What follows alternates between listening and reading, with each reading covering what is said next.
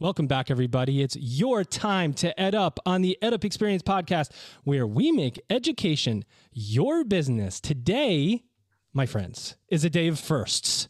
It's a day of firsts for a few reasons. Well, we think we might be the first higher ed podcast to pass 100,000 downloads. That's going to happen here pretty soon, which we can't believe still that people listen. Over the last three days, as this episode comes out, the three days previous to this, because dates don't matter in podcasting, we had over 1,300 listens of our episodes.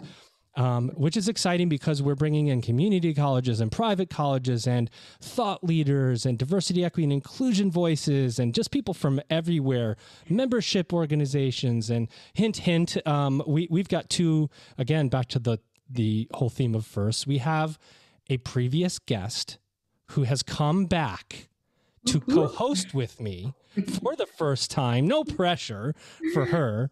I'm gonna she she she was wondering how i'll introduce her but i'm gonna say that she's absolute Fire, what did you say? Fire, fire. it keeps going like that until i stop it. Here she is. She's the future doctor niya blair hackworth and she's director of inclusion at the ncaa niya what's going on Hey, it's so good to be here on the other side of the things. Fire. you like my fire button I like the It just fire. keeps. I like I don't know how to turn it off now. Fire. I, I keep going. How are you how are things I'm well. Things are great. Um, we really enjoyed participating and being on the podcast and really excited about our guests today and just to be here Well, with you. I appreciate you, Niya. One thing you said, and you kind of gave me a cool testimonial when when we were done with your with your EdUp experience. You said you were leaving with a big smile on your face because you were nervous, and then you left because it was so much fun. And I said, well, that's what we want to do here. Yeah. Is that was that true, or were you just trying to boost my? No, it is. I have a big smile on my face even now. So it's great. Great experience. Well, I'm glad that you're here because I think you're going to add such a needed uh, angle to our questions for our guest today, who um, you know her. If you follow higher education, you know her, you've seen her, you've talked to her, you've followed her work. She's writing books, she's leading organizations. Here she is, ladies and gentlemen. Oh, the applause, Dr. Marjorie Hass. Oh, no, my screen turned off. How do you like that? And, and uh, Marjorie, I'm going to have to reintroduce you. Hold on a second. This is this is the good thing about podcasting is is you can redo it. Hold on a second. Right when I'm introducing you, my whole screen goes black. Okay, here we go. Okay, I'm gonna try that again. And here she is, ladies and gentlemen, Dr. Marjorie Hass, president at the Council of Independent Colleges. Marjorie, what's happening? How are you? Hey, it's great to be here. I appreciate that warm, that warm round of applause that you. you know that the and, crowd was gonna uh, go wild for Niya you? Seemed to be able to make possible for me. Yeah, so you didn't know that the crowd was gonna go wild for you? No, that was that was um, that was an exciting surprise. I, I want I gotta tell you, Marjorie, because you know Niya came on and she says, you know, I, I want to make decisions. It's my first podcasting, co-hosting, um, uh, uh, you know, foray into podcasting. I'd like to make some decisions. So she programmed this uh, a sound effect for me to introduce you, which I of course did not use. And here it is. I was supposed to say, Dr. Marjorie Hass. No, that is not true. And I That was like, are you true. That is serious, not Niya? true.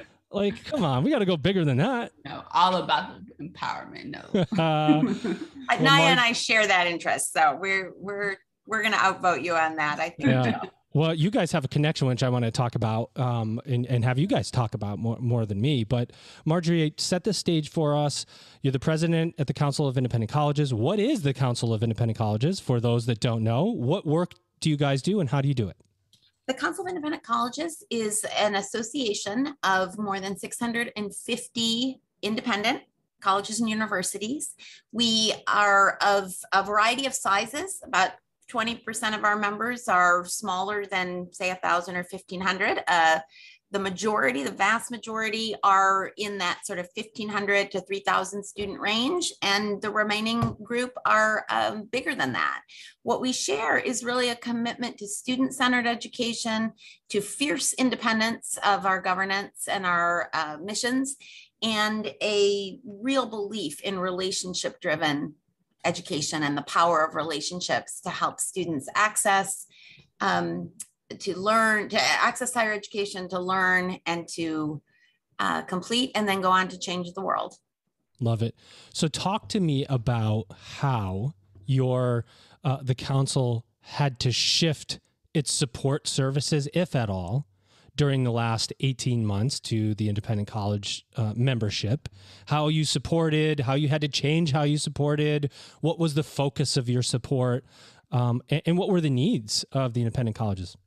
Well, there's a lot of questions. Sorry about that. They are, but that's all right. It'll be an interesting question, set of questions for me to answer because I will be answering them really not from the perspective of the president of CIC, but from the perspective of as a president of one of our member institutions. I came to the uh, council in July, and bef- immediately before that, I was president of Rhodes College in in Memphis, uh, Tennessee, and so I began my pandemic uh, journey as a college president, and really had to work to think about how to keep our students and our community safe. So uh, we, like many of our sister institutions, transformed from being an all face-to-face model to doing a lot of what we did remotely, at least for a period of that. We were really fortunate to be able to rely on the resources of the Council of Independent Colleges. So the council was able to pivot very quickly to providing web-based and other forms of remote connection for college presidents. We really relied on that. You know, it was a moment where our presidents were making decisions they had never made before. And they were making them really very much in a vacuum. As you probably are well aware, given the focus of this podcast, higher education was one of the first sectors of our society to respond vigorously and clearly and from an in an evidence-based way to the onslaught of this pandemic, which meant that our presidents were leading not only their colleges, but their communities often as well. And so being able to speak with others going through that same experience, being able to rely on the network of institutions was really essential uh, for me personally, and I think for many of our members. Yeah, everybody needed somebody, right? And it created a lot of intersection of, of people who maybe didn't speak before who go, Hey, you're having the same problem. What do I do with this? What do I do with that? Well, Speaking, you know, our colleges yeah. are very, I mean, our college presidents tend to know each other. We, we spend a, um, you know, time uh, working together and um, engaging with in organizations like the Council of Independent Colleges.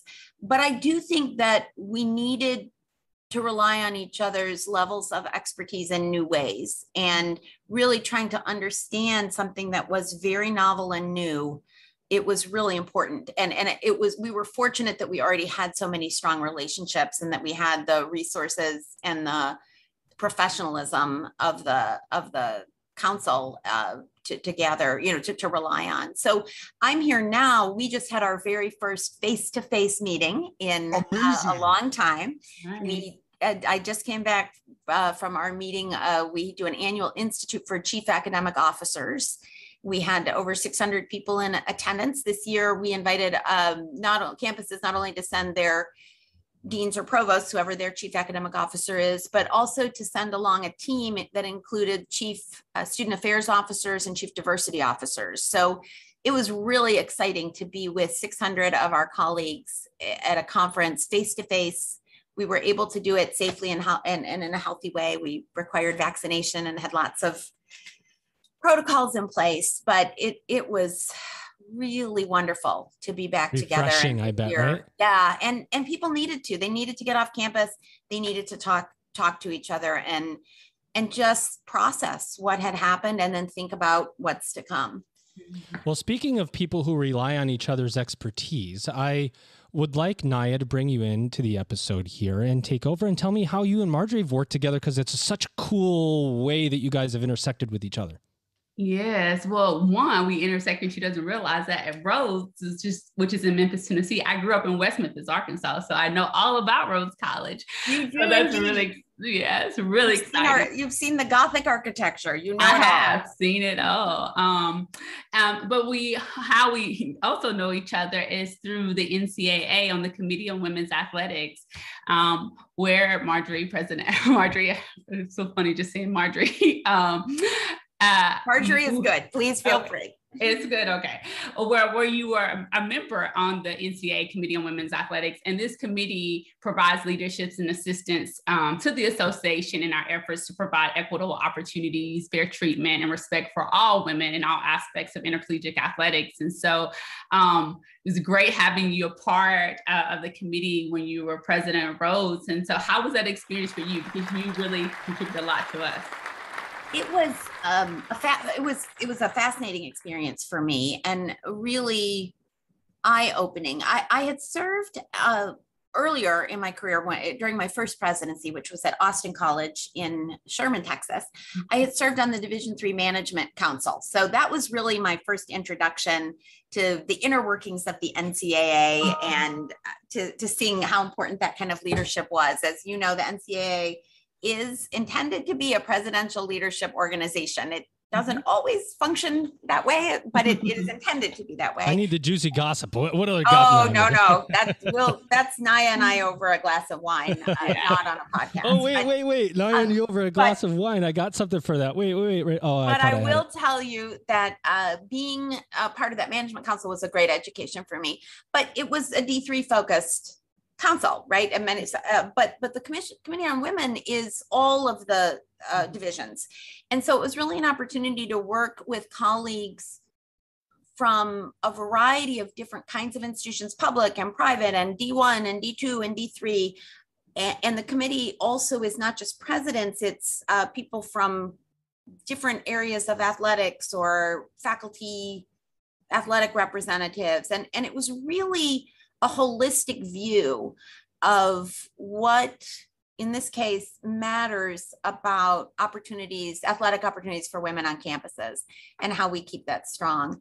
I was on the council uh, you know, during the time when we were discovering and encouraging the ncaa to really do a deep self-reflective exercise and to bring in external expertise to look at in particular championships and how uh, those can better serve women. And I've been really excited to see the follow up. I'm no longer uh, able to be on the committee because I'm not a college president. I'm president of CIC, but I, I do follow the work and, and uh, uh, the Office of Inclusion and continue to be in awe, Niya, of the work you and your colleagues do there. Well, we we appreciate you, and you always been a, a supporter and an advocate um, to push us as an association and as a department, and provide the level um, of guidance um, and direction that I think makes intercollegiate athletics even better um, because of your voice and, and, your perspective. So we, we really appreciate you, and everybody in the Office of Inclusion says hi. Oh, good. Send them all my my love. I visited them. Uh, early on in my time here at CIC, I, I yes, Amy shared with me. You came catch up, yeah. and yeah, so that yeah. was that was great. That's good.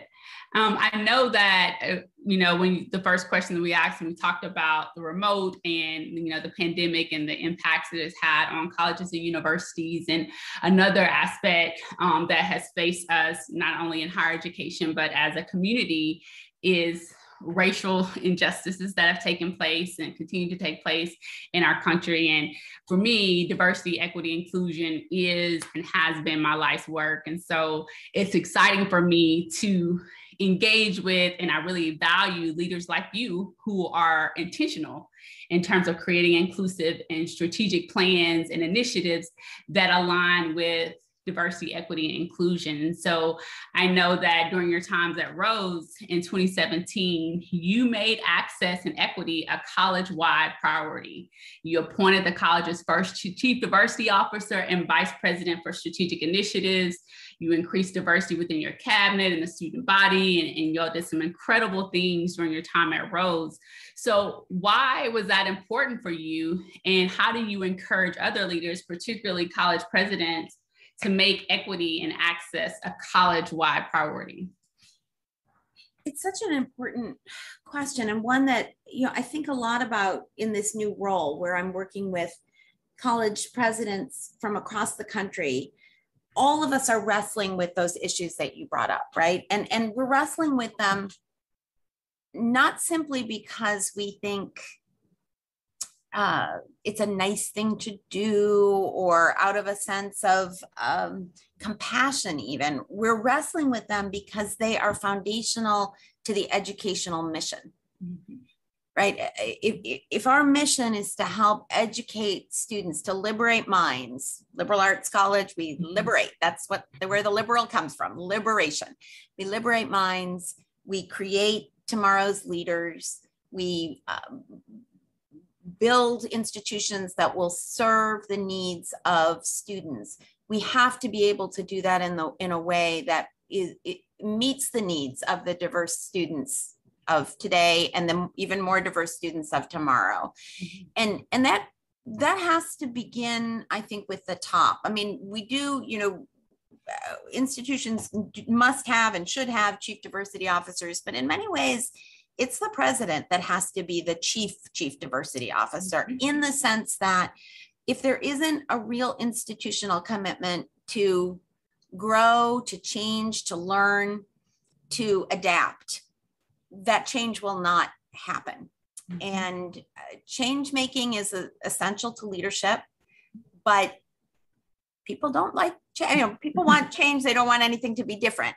And there's no way that you can truly say we're going to transform institutions to um, to to to be where, where where sort of diversity isn't just at the edges, but it's in the center of the institution Mhm. without making change for everyone. And it's hard work. It has to be committed work. It's work that has to be collaborative and collective. You know, as a as a white woman who has broken barriers, I've been the first woman and the first Jewish person in, you know, that's been the headline of all four of my last jobs. But, you know, I can't I can't think through issues around race and ethnicity and even religious identities without lots of input, lots of conversations. It has to be collaborative work, but it's work that has to be has to be done. Um, I I always think of you know this notion of belonging. I, I think every college president would say they want every student on their campus to feel that they belong at the center of the experience. My dream from the colleges I led was that every student would say, I'm at the center of this experience. Mm-hmm. And I, I, I can't say honestly that we were at a place where I felt we had reached that goal, but I did feel that we were aiming towards it and that it was a goal we needed to endlessly pursue. What does that mean at the center of the experience? Able to experience everything or Uh, that no. the experience is built around them or I mean how how how do you, how do you define that for our audience? That's a that's a good question. So no, I mean most campuses offer more opportunities than any student could take advantage of. But every student should feel that those oppor- opportunities are available to them. And I think all of us know what it's like to come into a space that we feel is not really made with us in mind. Um, you know, again, as I said, I was the first Jewish president at the institutions I I served, and uh, um, they both of those institutions were Presbyterian colleges. They had begun as the idea of Presbyterians. That's you breaking glass ceilings. Those are I broke a lot of glass ceilings. Um, at Rhodes, they used to say I broke the stained glass ceiling. Um, so, so um, um, you know, those were spaces, right? That they weren't invented thinking, oh, someday we'll have Jewish women here. Um, many of our institutions, independent institutions, began at, uh, as single sex institutions or with a religious tradition or um, either explicitly or implicitly white institutions. So they weren't designed with me at mind in mind. Do I, does that mean I always will feel forever that I'm on the edges? No. Institutions can transform themselves so that I too can wake up and say, I feel at home here. I feel as though my full self is welcome here. And I don't remain just on the margins of the institution. I'm here at its center and at its core um, with just as much claim to being here as anyone else has. And that's a hard and heavy lift for institutions uh, that are making changes of a whole variety of types. Some are becoming co ed, some are uh, expanding the the ways they reach out to students from different economic backgrounds or from rural versus urban areas. And how do you build a community? How do you which uh, to me is a microcosm of how do you build a country? How do you build a community in which those kinds of differences are seen respected understood and yet still we stay at the table and we still try to to build a common experience with each other. It's hard work. hard work, but needed work. I'm gonna, Yeah, I'm keep gonna going if you got now. more. Yeah, yeah, yeah. I, I just I love that that how you said it must be at the center of the experience and, and not on the margins. Um, and I, I think that's what you know we're seeing some of that shift happening on campus is some of the the anxiety we feel i think as a country and it's certainly reflected on our college campus is what it means when we say not just that someone is invited or welcomed in but that no actually you are just as much a citizen just as much a um, a real member of this community as those of who see themselves as having greater claim to that space. It it it creates tension. It creates um, anxiety, and how we find ways to navigate that will determine, I believe, the future of our institutions and the future of our nation. Let me slip in a question, uh, if you don't mind, and then you could Go take back ahead. over. Because I, you, you're talking about, you're talking about being first, and this I said this was an episode so of first, Margie. I don't know if I how I teed you up for that, but um, first female president at Rhodes, and and all the things that you've done. You've, And you've written, a, yep, yeah, and you've written a book, yes, a leadership guide for women in higher education. yes. And this is an important topic for multiple reasons because we, and I see we, we I mean Elvin and I, um, we have a audience that is 46% women. And so I don't know what other higher education podcasts, what their demos are, but I can't imagine that they have almost half of their audience women. So we've dedicated a day, for example, every Wednesday we release uh, an episode where it's a woman leader in higher education. There are there are weeks we have to work really hard to make sure we have enough women in the pipeline to release. Okay, so this is a, a common problem for us. Um, uh, uh, women of color um, is another complexity uh, to that. Do we, you know, we we look at our guest list and we go, do we have enough Black women? Do we have uh, Latina women that have represented? Do we have enough that represent higher ed? And we'll look at each other sometimes and go, no, we don't. And we we, we got to go out and find uh, women, more women. And so well, you, you writing. call, call Niya and I, and we'll, we'll give you lists of great women to Yes. be on your Well, podcast. it's funny because we've had previous guests and we'll say the same thing. We're like, okay, t- give us your ac- access to your women leaders. They send us the list. We go through the list. We exhaust the list and we have to do it again. Yeah. It's just not as common. So what do, what Right. do No, women it isn't. leaders in higher ed need to know? Like what, how do you cr- uh, create a pipeline of women leadership that want to work in higher ed that is typically what male dominated, white male dominated? this is something I've clearly thought a lot about, both because of my own personal career path, but also because of the mentoring work that I have done, uh, which culminated in this this recent book that you very kindly uh, mentioned, uh, which was just out from Johns Hopkins University Press this summer. The book. The book really asks us to think about this. You know, if you were saying you were having trouble finding women students, even wom- Black women students or women students of color, I would say then you clearly aren't paying attention because the majority of college students are women right now. And women, um, as we know, tend not only to enroll in greater numbers, complete in greater numbers, earn honors, higher grade point averages, et cetera. Um, men still have the advantage when they enter the world of work, though they earn more than women do on average. So uh, there's still plenty of work to do. But you know, as we think about that diverse group of students, we we then have to think about how that translates into faculty diversity and leadership diversity. Both of those things have been very important to me in my career.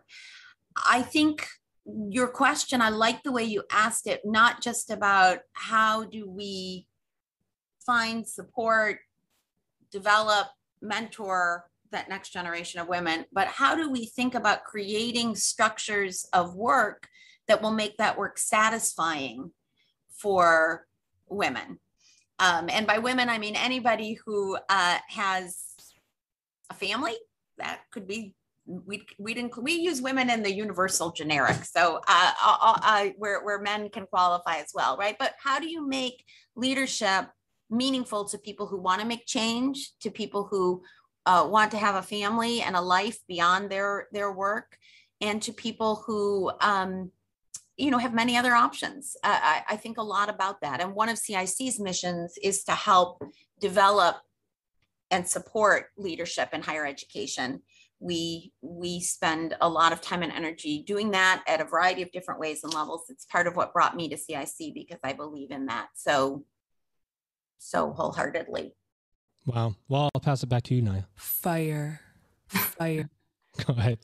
It, it, it is fire. And I just ordered the last book on Amazon, your last one in they'll stock. get more they'll So get people more get more, right? So go out and get yours. So you get it for your and you can you can get it for your kindle so you're good you're yeah the- you yeah can- you so I, i just ordered it in my cart Oh. and um really excited to read it and you know you talk about being the first in in many of your roles and you're the first female president in the 65 year history um, of the cic and so thinking about your book that talks about the challenges that you know women face as they move into senior leadership roles within colleges and university um, what has been the thing that has stood out to you the most in terms of the challenges based upon your own experiences and hearing from other um, women in the field? I think I, th- I think the challenges the, the challenges I think are both external and internal. Um, you know, they're external in the sense that we still live in a society in which the people are asked to think of the generic leader. You know, imagine a, a man in that role, and it's hard often to reconcile what are considered the sort of cultural norms of femininity being nice and being caring and being um, group focused and relationship driven with what are sometimes seen as the generic traits of leadership being firm being um, focused on structure uh, being able to separate and out your emotions it, it it can be hard to think how those things will be reconciled um, so th- there are certainly structures that most of the people doing the hiring of leaders are men. Uh, college presidents are typically hired by board board you know committees made up of board of trustee members who are um, you know more likely to be men than not. And so you know that sense of does does this person fit? Can we see them? Can we fo- see them as our leader? I think is still an issue for women. We still face barriers in that way. I think it's still true that women are often more likely to be hired on the basis of their accomplishments, whereas men sometimes get a pass and they're hired on the basis of their promise. I think women uh, sometimes are doing the job, are more likely to be doing the work without the title than than men are. Um, there still are pay gaps. There still are trust gaps. There still are confidence gaps. So um, I think do think women face particular barriers, but there are also uh, internal or family oriented barriers. So I work with women as a mentor, and I I find that women often think about well, what will it mean to my family for me to take on a job that's really 24 7 or move my family across the country so that I can have this career opportunity? What will it mean uh, to have this shift in my identity from a role where I'm one of a team or one of a one of a group i'm a, one of the faculty members or i'm part of a department to now suddenly being in charge of that group and and losing some of the friendships and relationships or at least seeing those shift. Mhm. so I, I think women have to grapple and wrestle with all of those things. What does it mean to be ambitious as a woman? How do you reconcile that with your other kinds of concerns? And you know we can debate people can debate are these nature or nurture? Are these culturally imposed? Is there something innate I, I I- think it's largely irrelevant. The question really is given that how do we do that? The most important thing that happens though is that as women move into leadership roles we're changing the nature of what we think leadership looks like. My hope is that um you know I, every time a woman you know every time a woman leads an angel gets its wings another woman looks and says oh i see a different way i could do that and i think that's changing the way men lead as well. I think we're seeing a generation of men coming up through the ranks that are more likely to think in terms of win-win solutions and inclusive dialogues and making a space for work-life balance in the workplace because they've seen that modeled by the women leaders they know Great. I, am going to use your book for my dissertation too, because my dissertation is on the barriers that the women face, particularly uh, athletic directors. Um, so be very helpful. Yes, I talk about um, in part drawing on the experiences I I had uh, in, with the NCAA, talking to diverse groups of women, many of whom had built a career in athletics of one sort or another. And I think one of the things that I I learned there and with other women I've I've mentored is that uh, often women of color are really pitted against each other in the sense that you know they'll say well we we already have a black woman in a leadership role so we're done and that sense that you know there isn't enough space for more than one of a type or of a kind or of a perceived kind i guess i should say Yikes. really can be a, a challenge and and is an added difficulty so that instead of fostering alliances it can foster competition. And women have to work very hard to build alliances around that structural undermining of those relationships yeah, thank you. Thanks for sharing. And I'm going to pass it over to you, Joe, because I have more questions, but I, am a co-host. So I'm not. well, no, I you guys are doing. I I won't mind just sitting down and putting my feet up and listening to you two go. Um, if you want to keep going, now I want you to make sure you get all your questions from Marjorie. So please get to it, or I'll take over. Either way.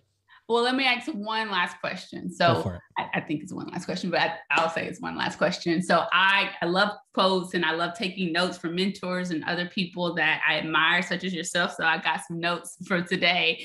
Um, and I like to learn, you know, from uh, other people, particularly the women. So I know in the book you talk about advice that you've received, and you're giving some great advice to to women and just to others about the women's experience. So what um, has been the latest and greatest advice that you've received? And, and it could be related to work, but it doesn't have to be related to work. That I've received. So, what is yes, some you- advice I've received?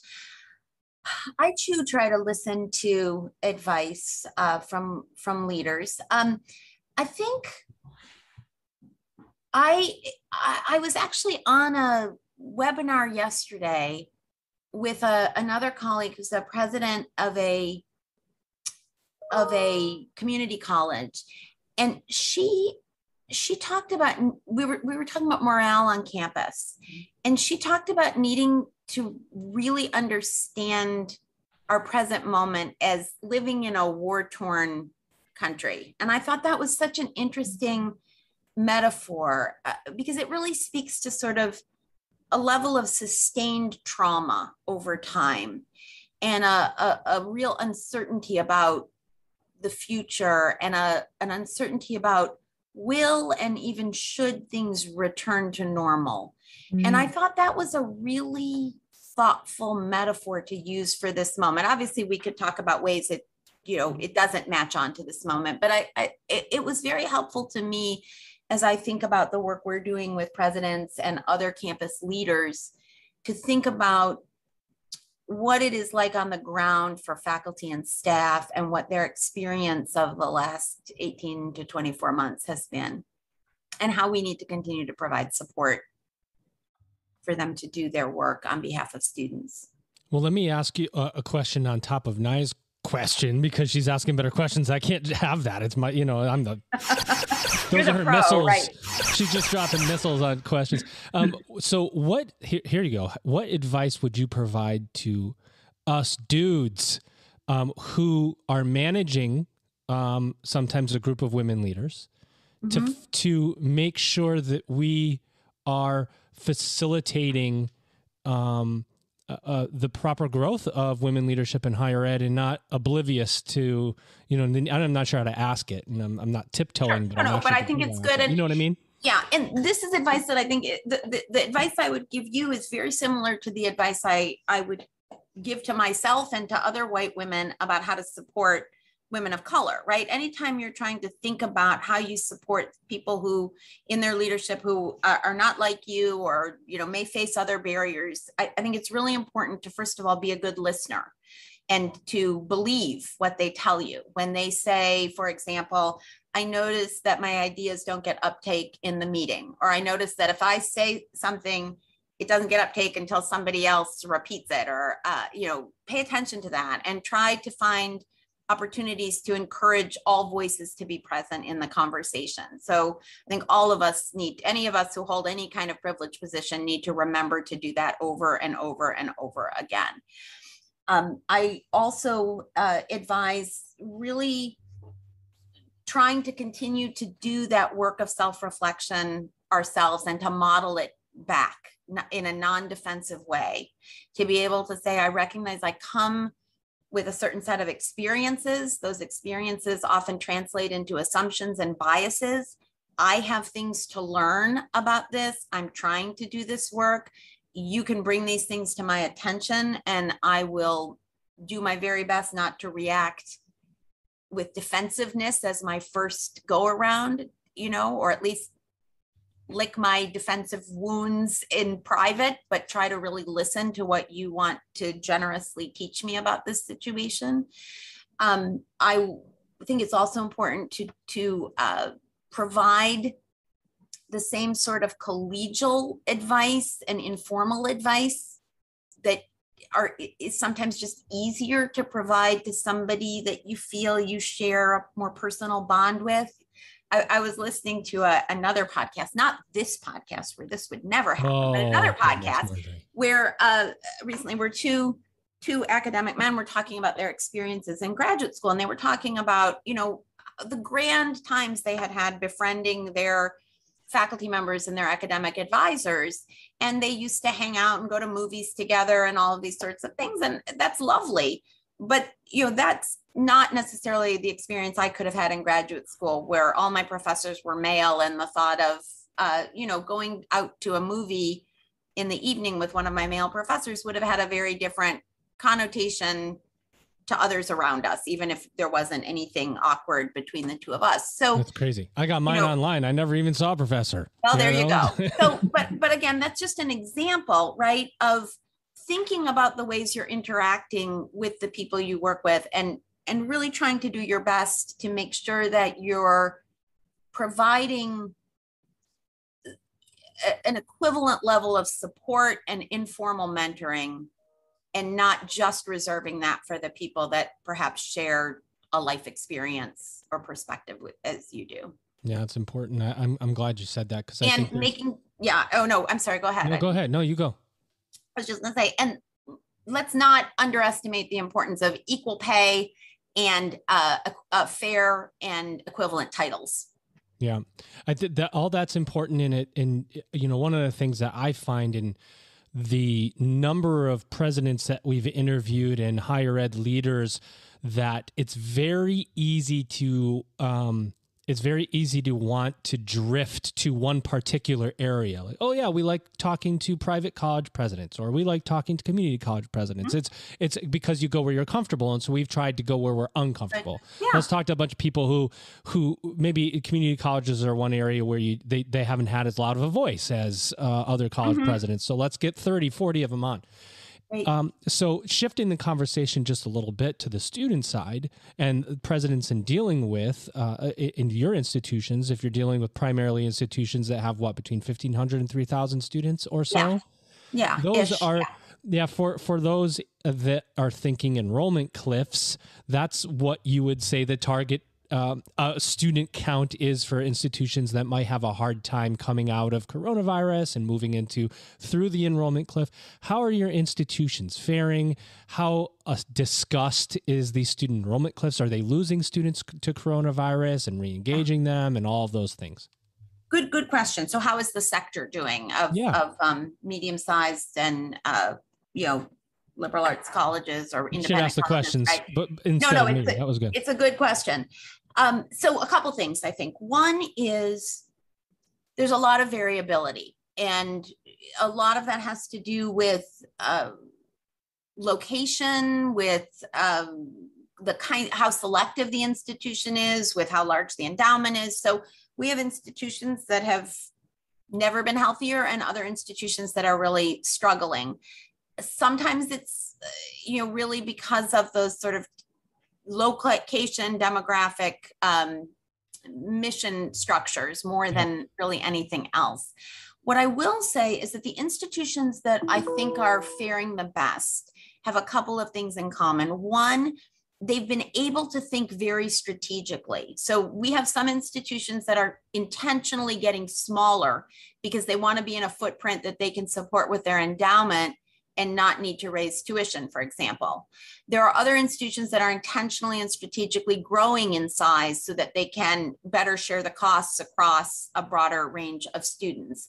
So that ability to think strategically with the end in mind and to look very in a very focused way at your institutional strengths and how you can maximize those. Uh, just sort of briefly, I think of institutions in terms of a kind of three-part triangle. They're they're built on their missions, their cultures, and their business models. And when those three things are in alignment, the institution will flourish. When they're out of alignment, Wait, that wasn't me for those listening at home. that was your agree, I, that was the agree button with what you I, said. I like it. I like that mm-hmm. agree button. Uh, so so the job of the president and and other leaders on campus is to help get those things in alignment and institutions that have a path towards that i think are doing well another thing i would say is that institutions that have created a foundation for meaningful and effective shared governance are doing well or better because they're able to bring more voices to the table. Uh, we could we could do a whole podcast on what shared governance is, how it differs, in my view, from faculty governance, how it can be healthy or unhealthy on a campus. But institutions where there is meaningful opportunity for people to know the facts about the institution, they understand its mission, its culture, and its business model, and discuss those with people from different constituencies and perspectives tend to be doing I think, or t- tend to be coming out of um, the the sort of latest crises in in healthier shape.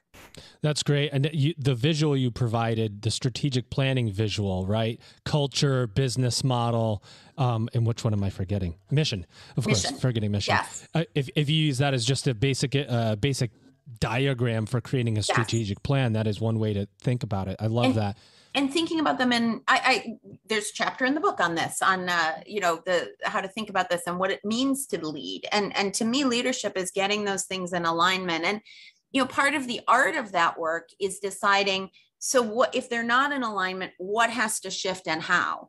And as Niya and I were talking about earlier many many institutions you know that the culture is not needs to shift and change so that it is more inclusive and welcoming and fundamentally at a fundamental level.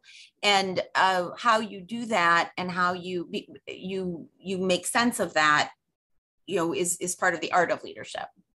All right niya you got a chance to slip in any last minute questions you have before i give marjorie our final two questions of the episode.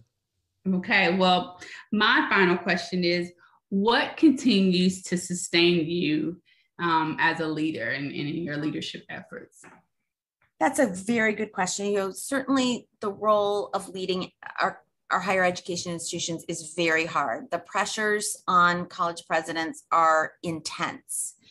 And what sustains me, what sustains me in that work and what sustains me in my work at the Council of Independent Colleges as its president is a true and foundational belief in the transformative and transformational uh, promise of mm-hmm. independent higher education. It is the great brilliance of the American higher education system that we have such diversity of institutions, of missions, of types of ways you can learn, of formats, of curricula. That's just brilliant. And then that we believe that education should be a lever for economic you know growth both of individuals but equally important of communities that mm-hmm. really matters to me i've always said that you know i measure the success of our institutions not by what they do for individual students but by what those students do for the world and I just believe that in the deepest fiber of my being. I do believe that the future of democracy is in the hands of higher education. I do believe that the future prosperity of our country is in the hands of higher education, and the work matters so much. Mm-hmm. So when I feel dispirited as a college president, I would look and talk and think about our students. As the president of the Council of Independent Colleges, I look and think and talk to our member presidents and provosts and other leaders. And I think, how can we help sustain you and make you more effective in this crucial work? Dare I say that's the mic drop moment of the episode.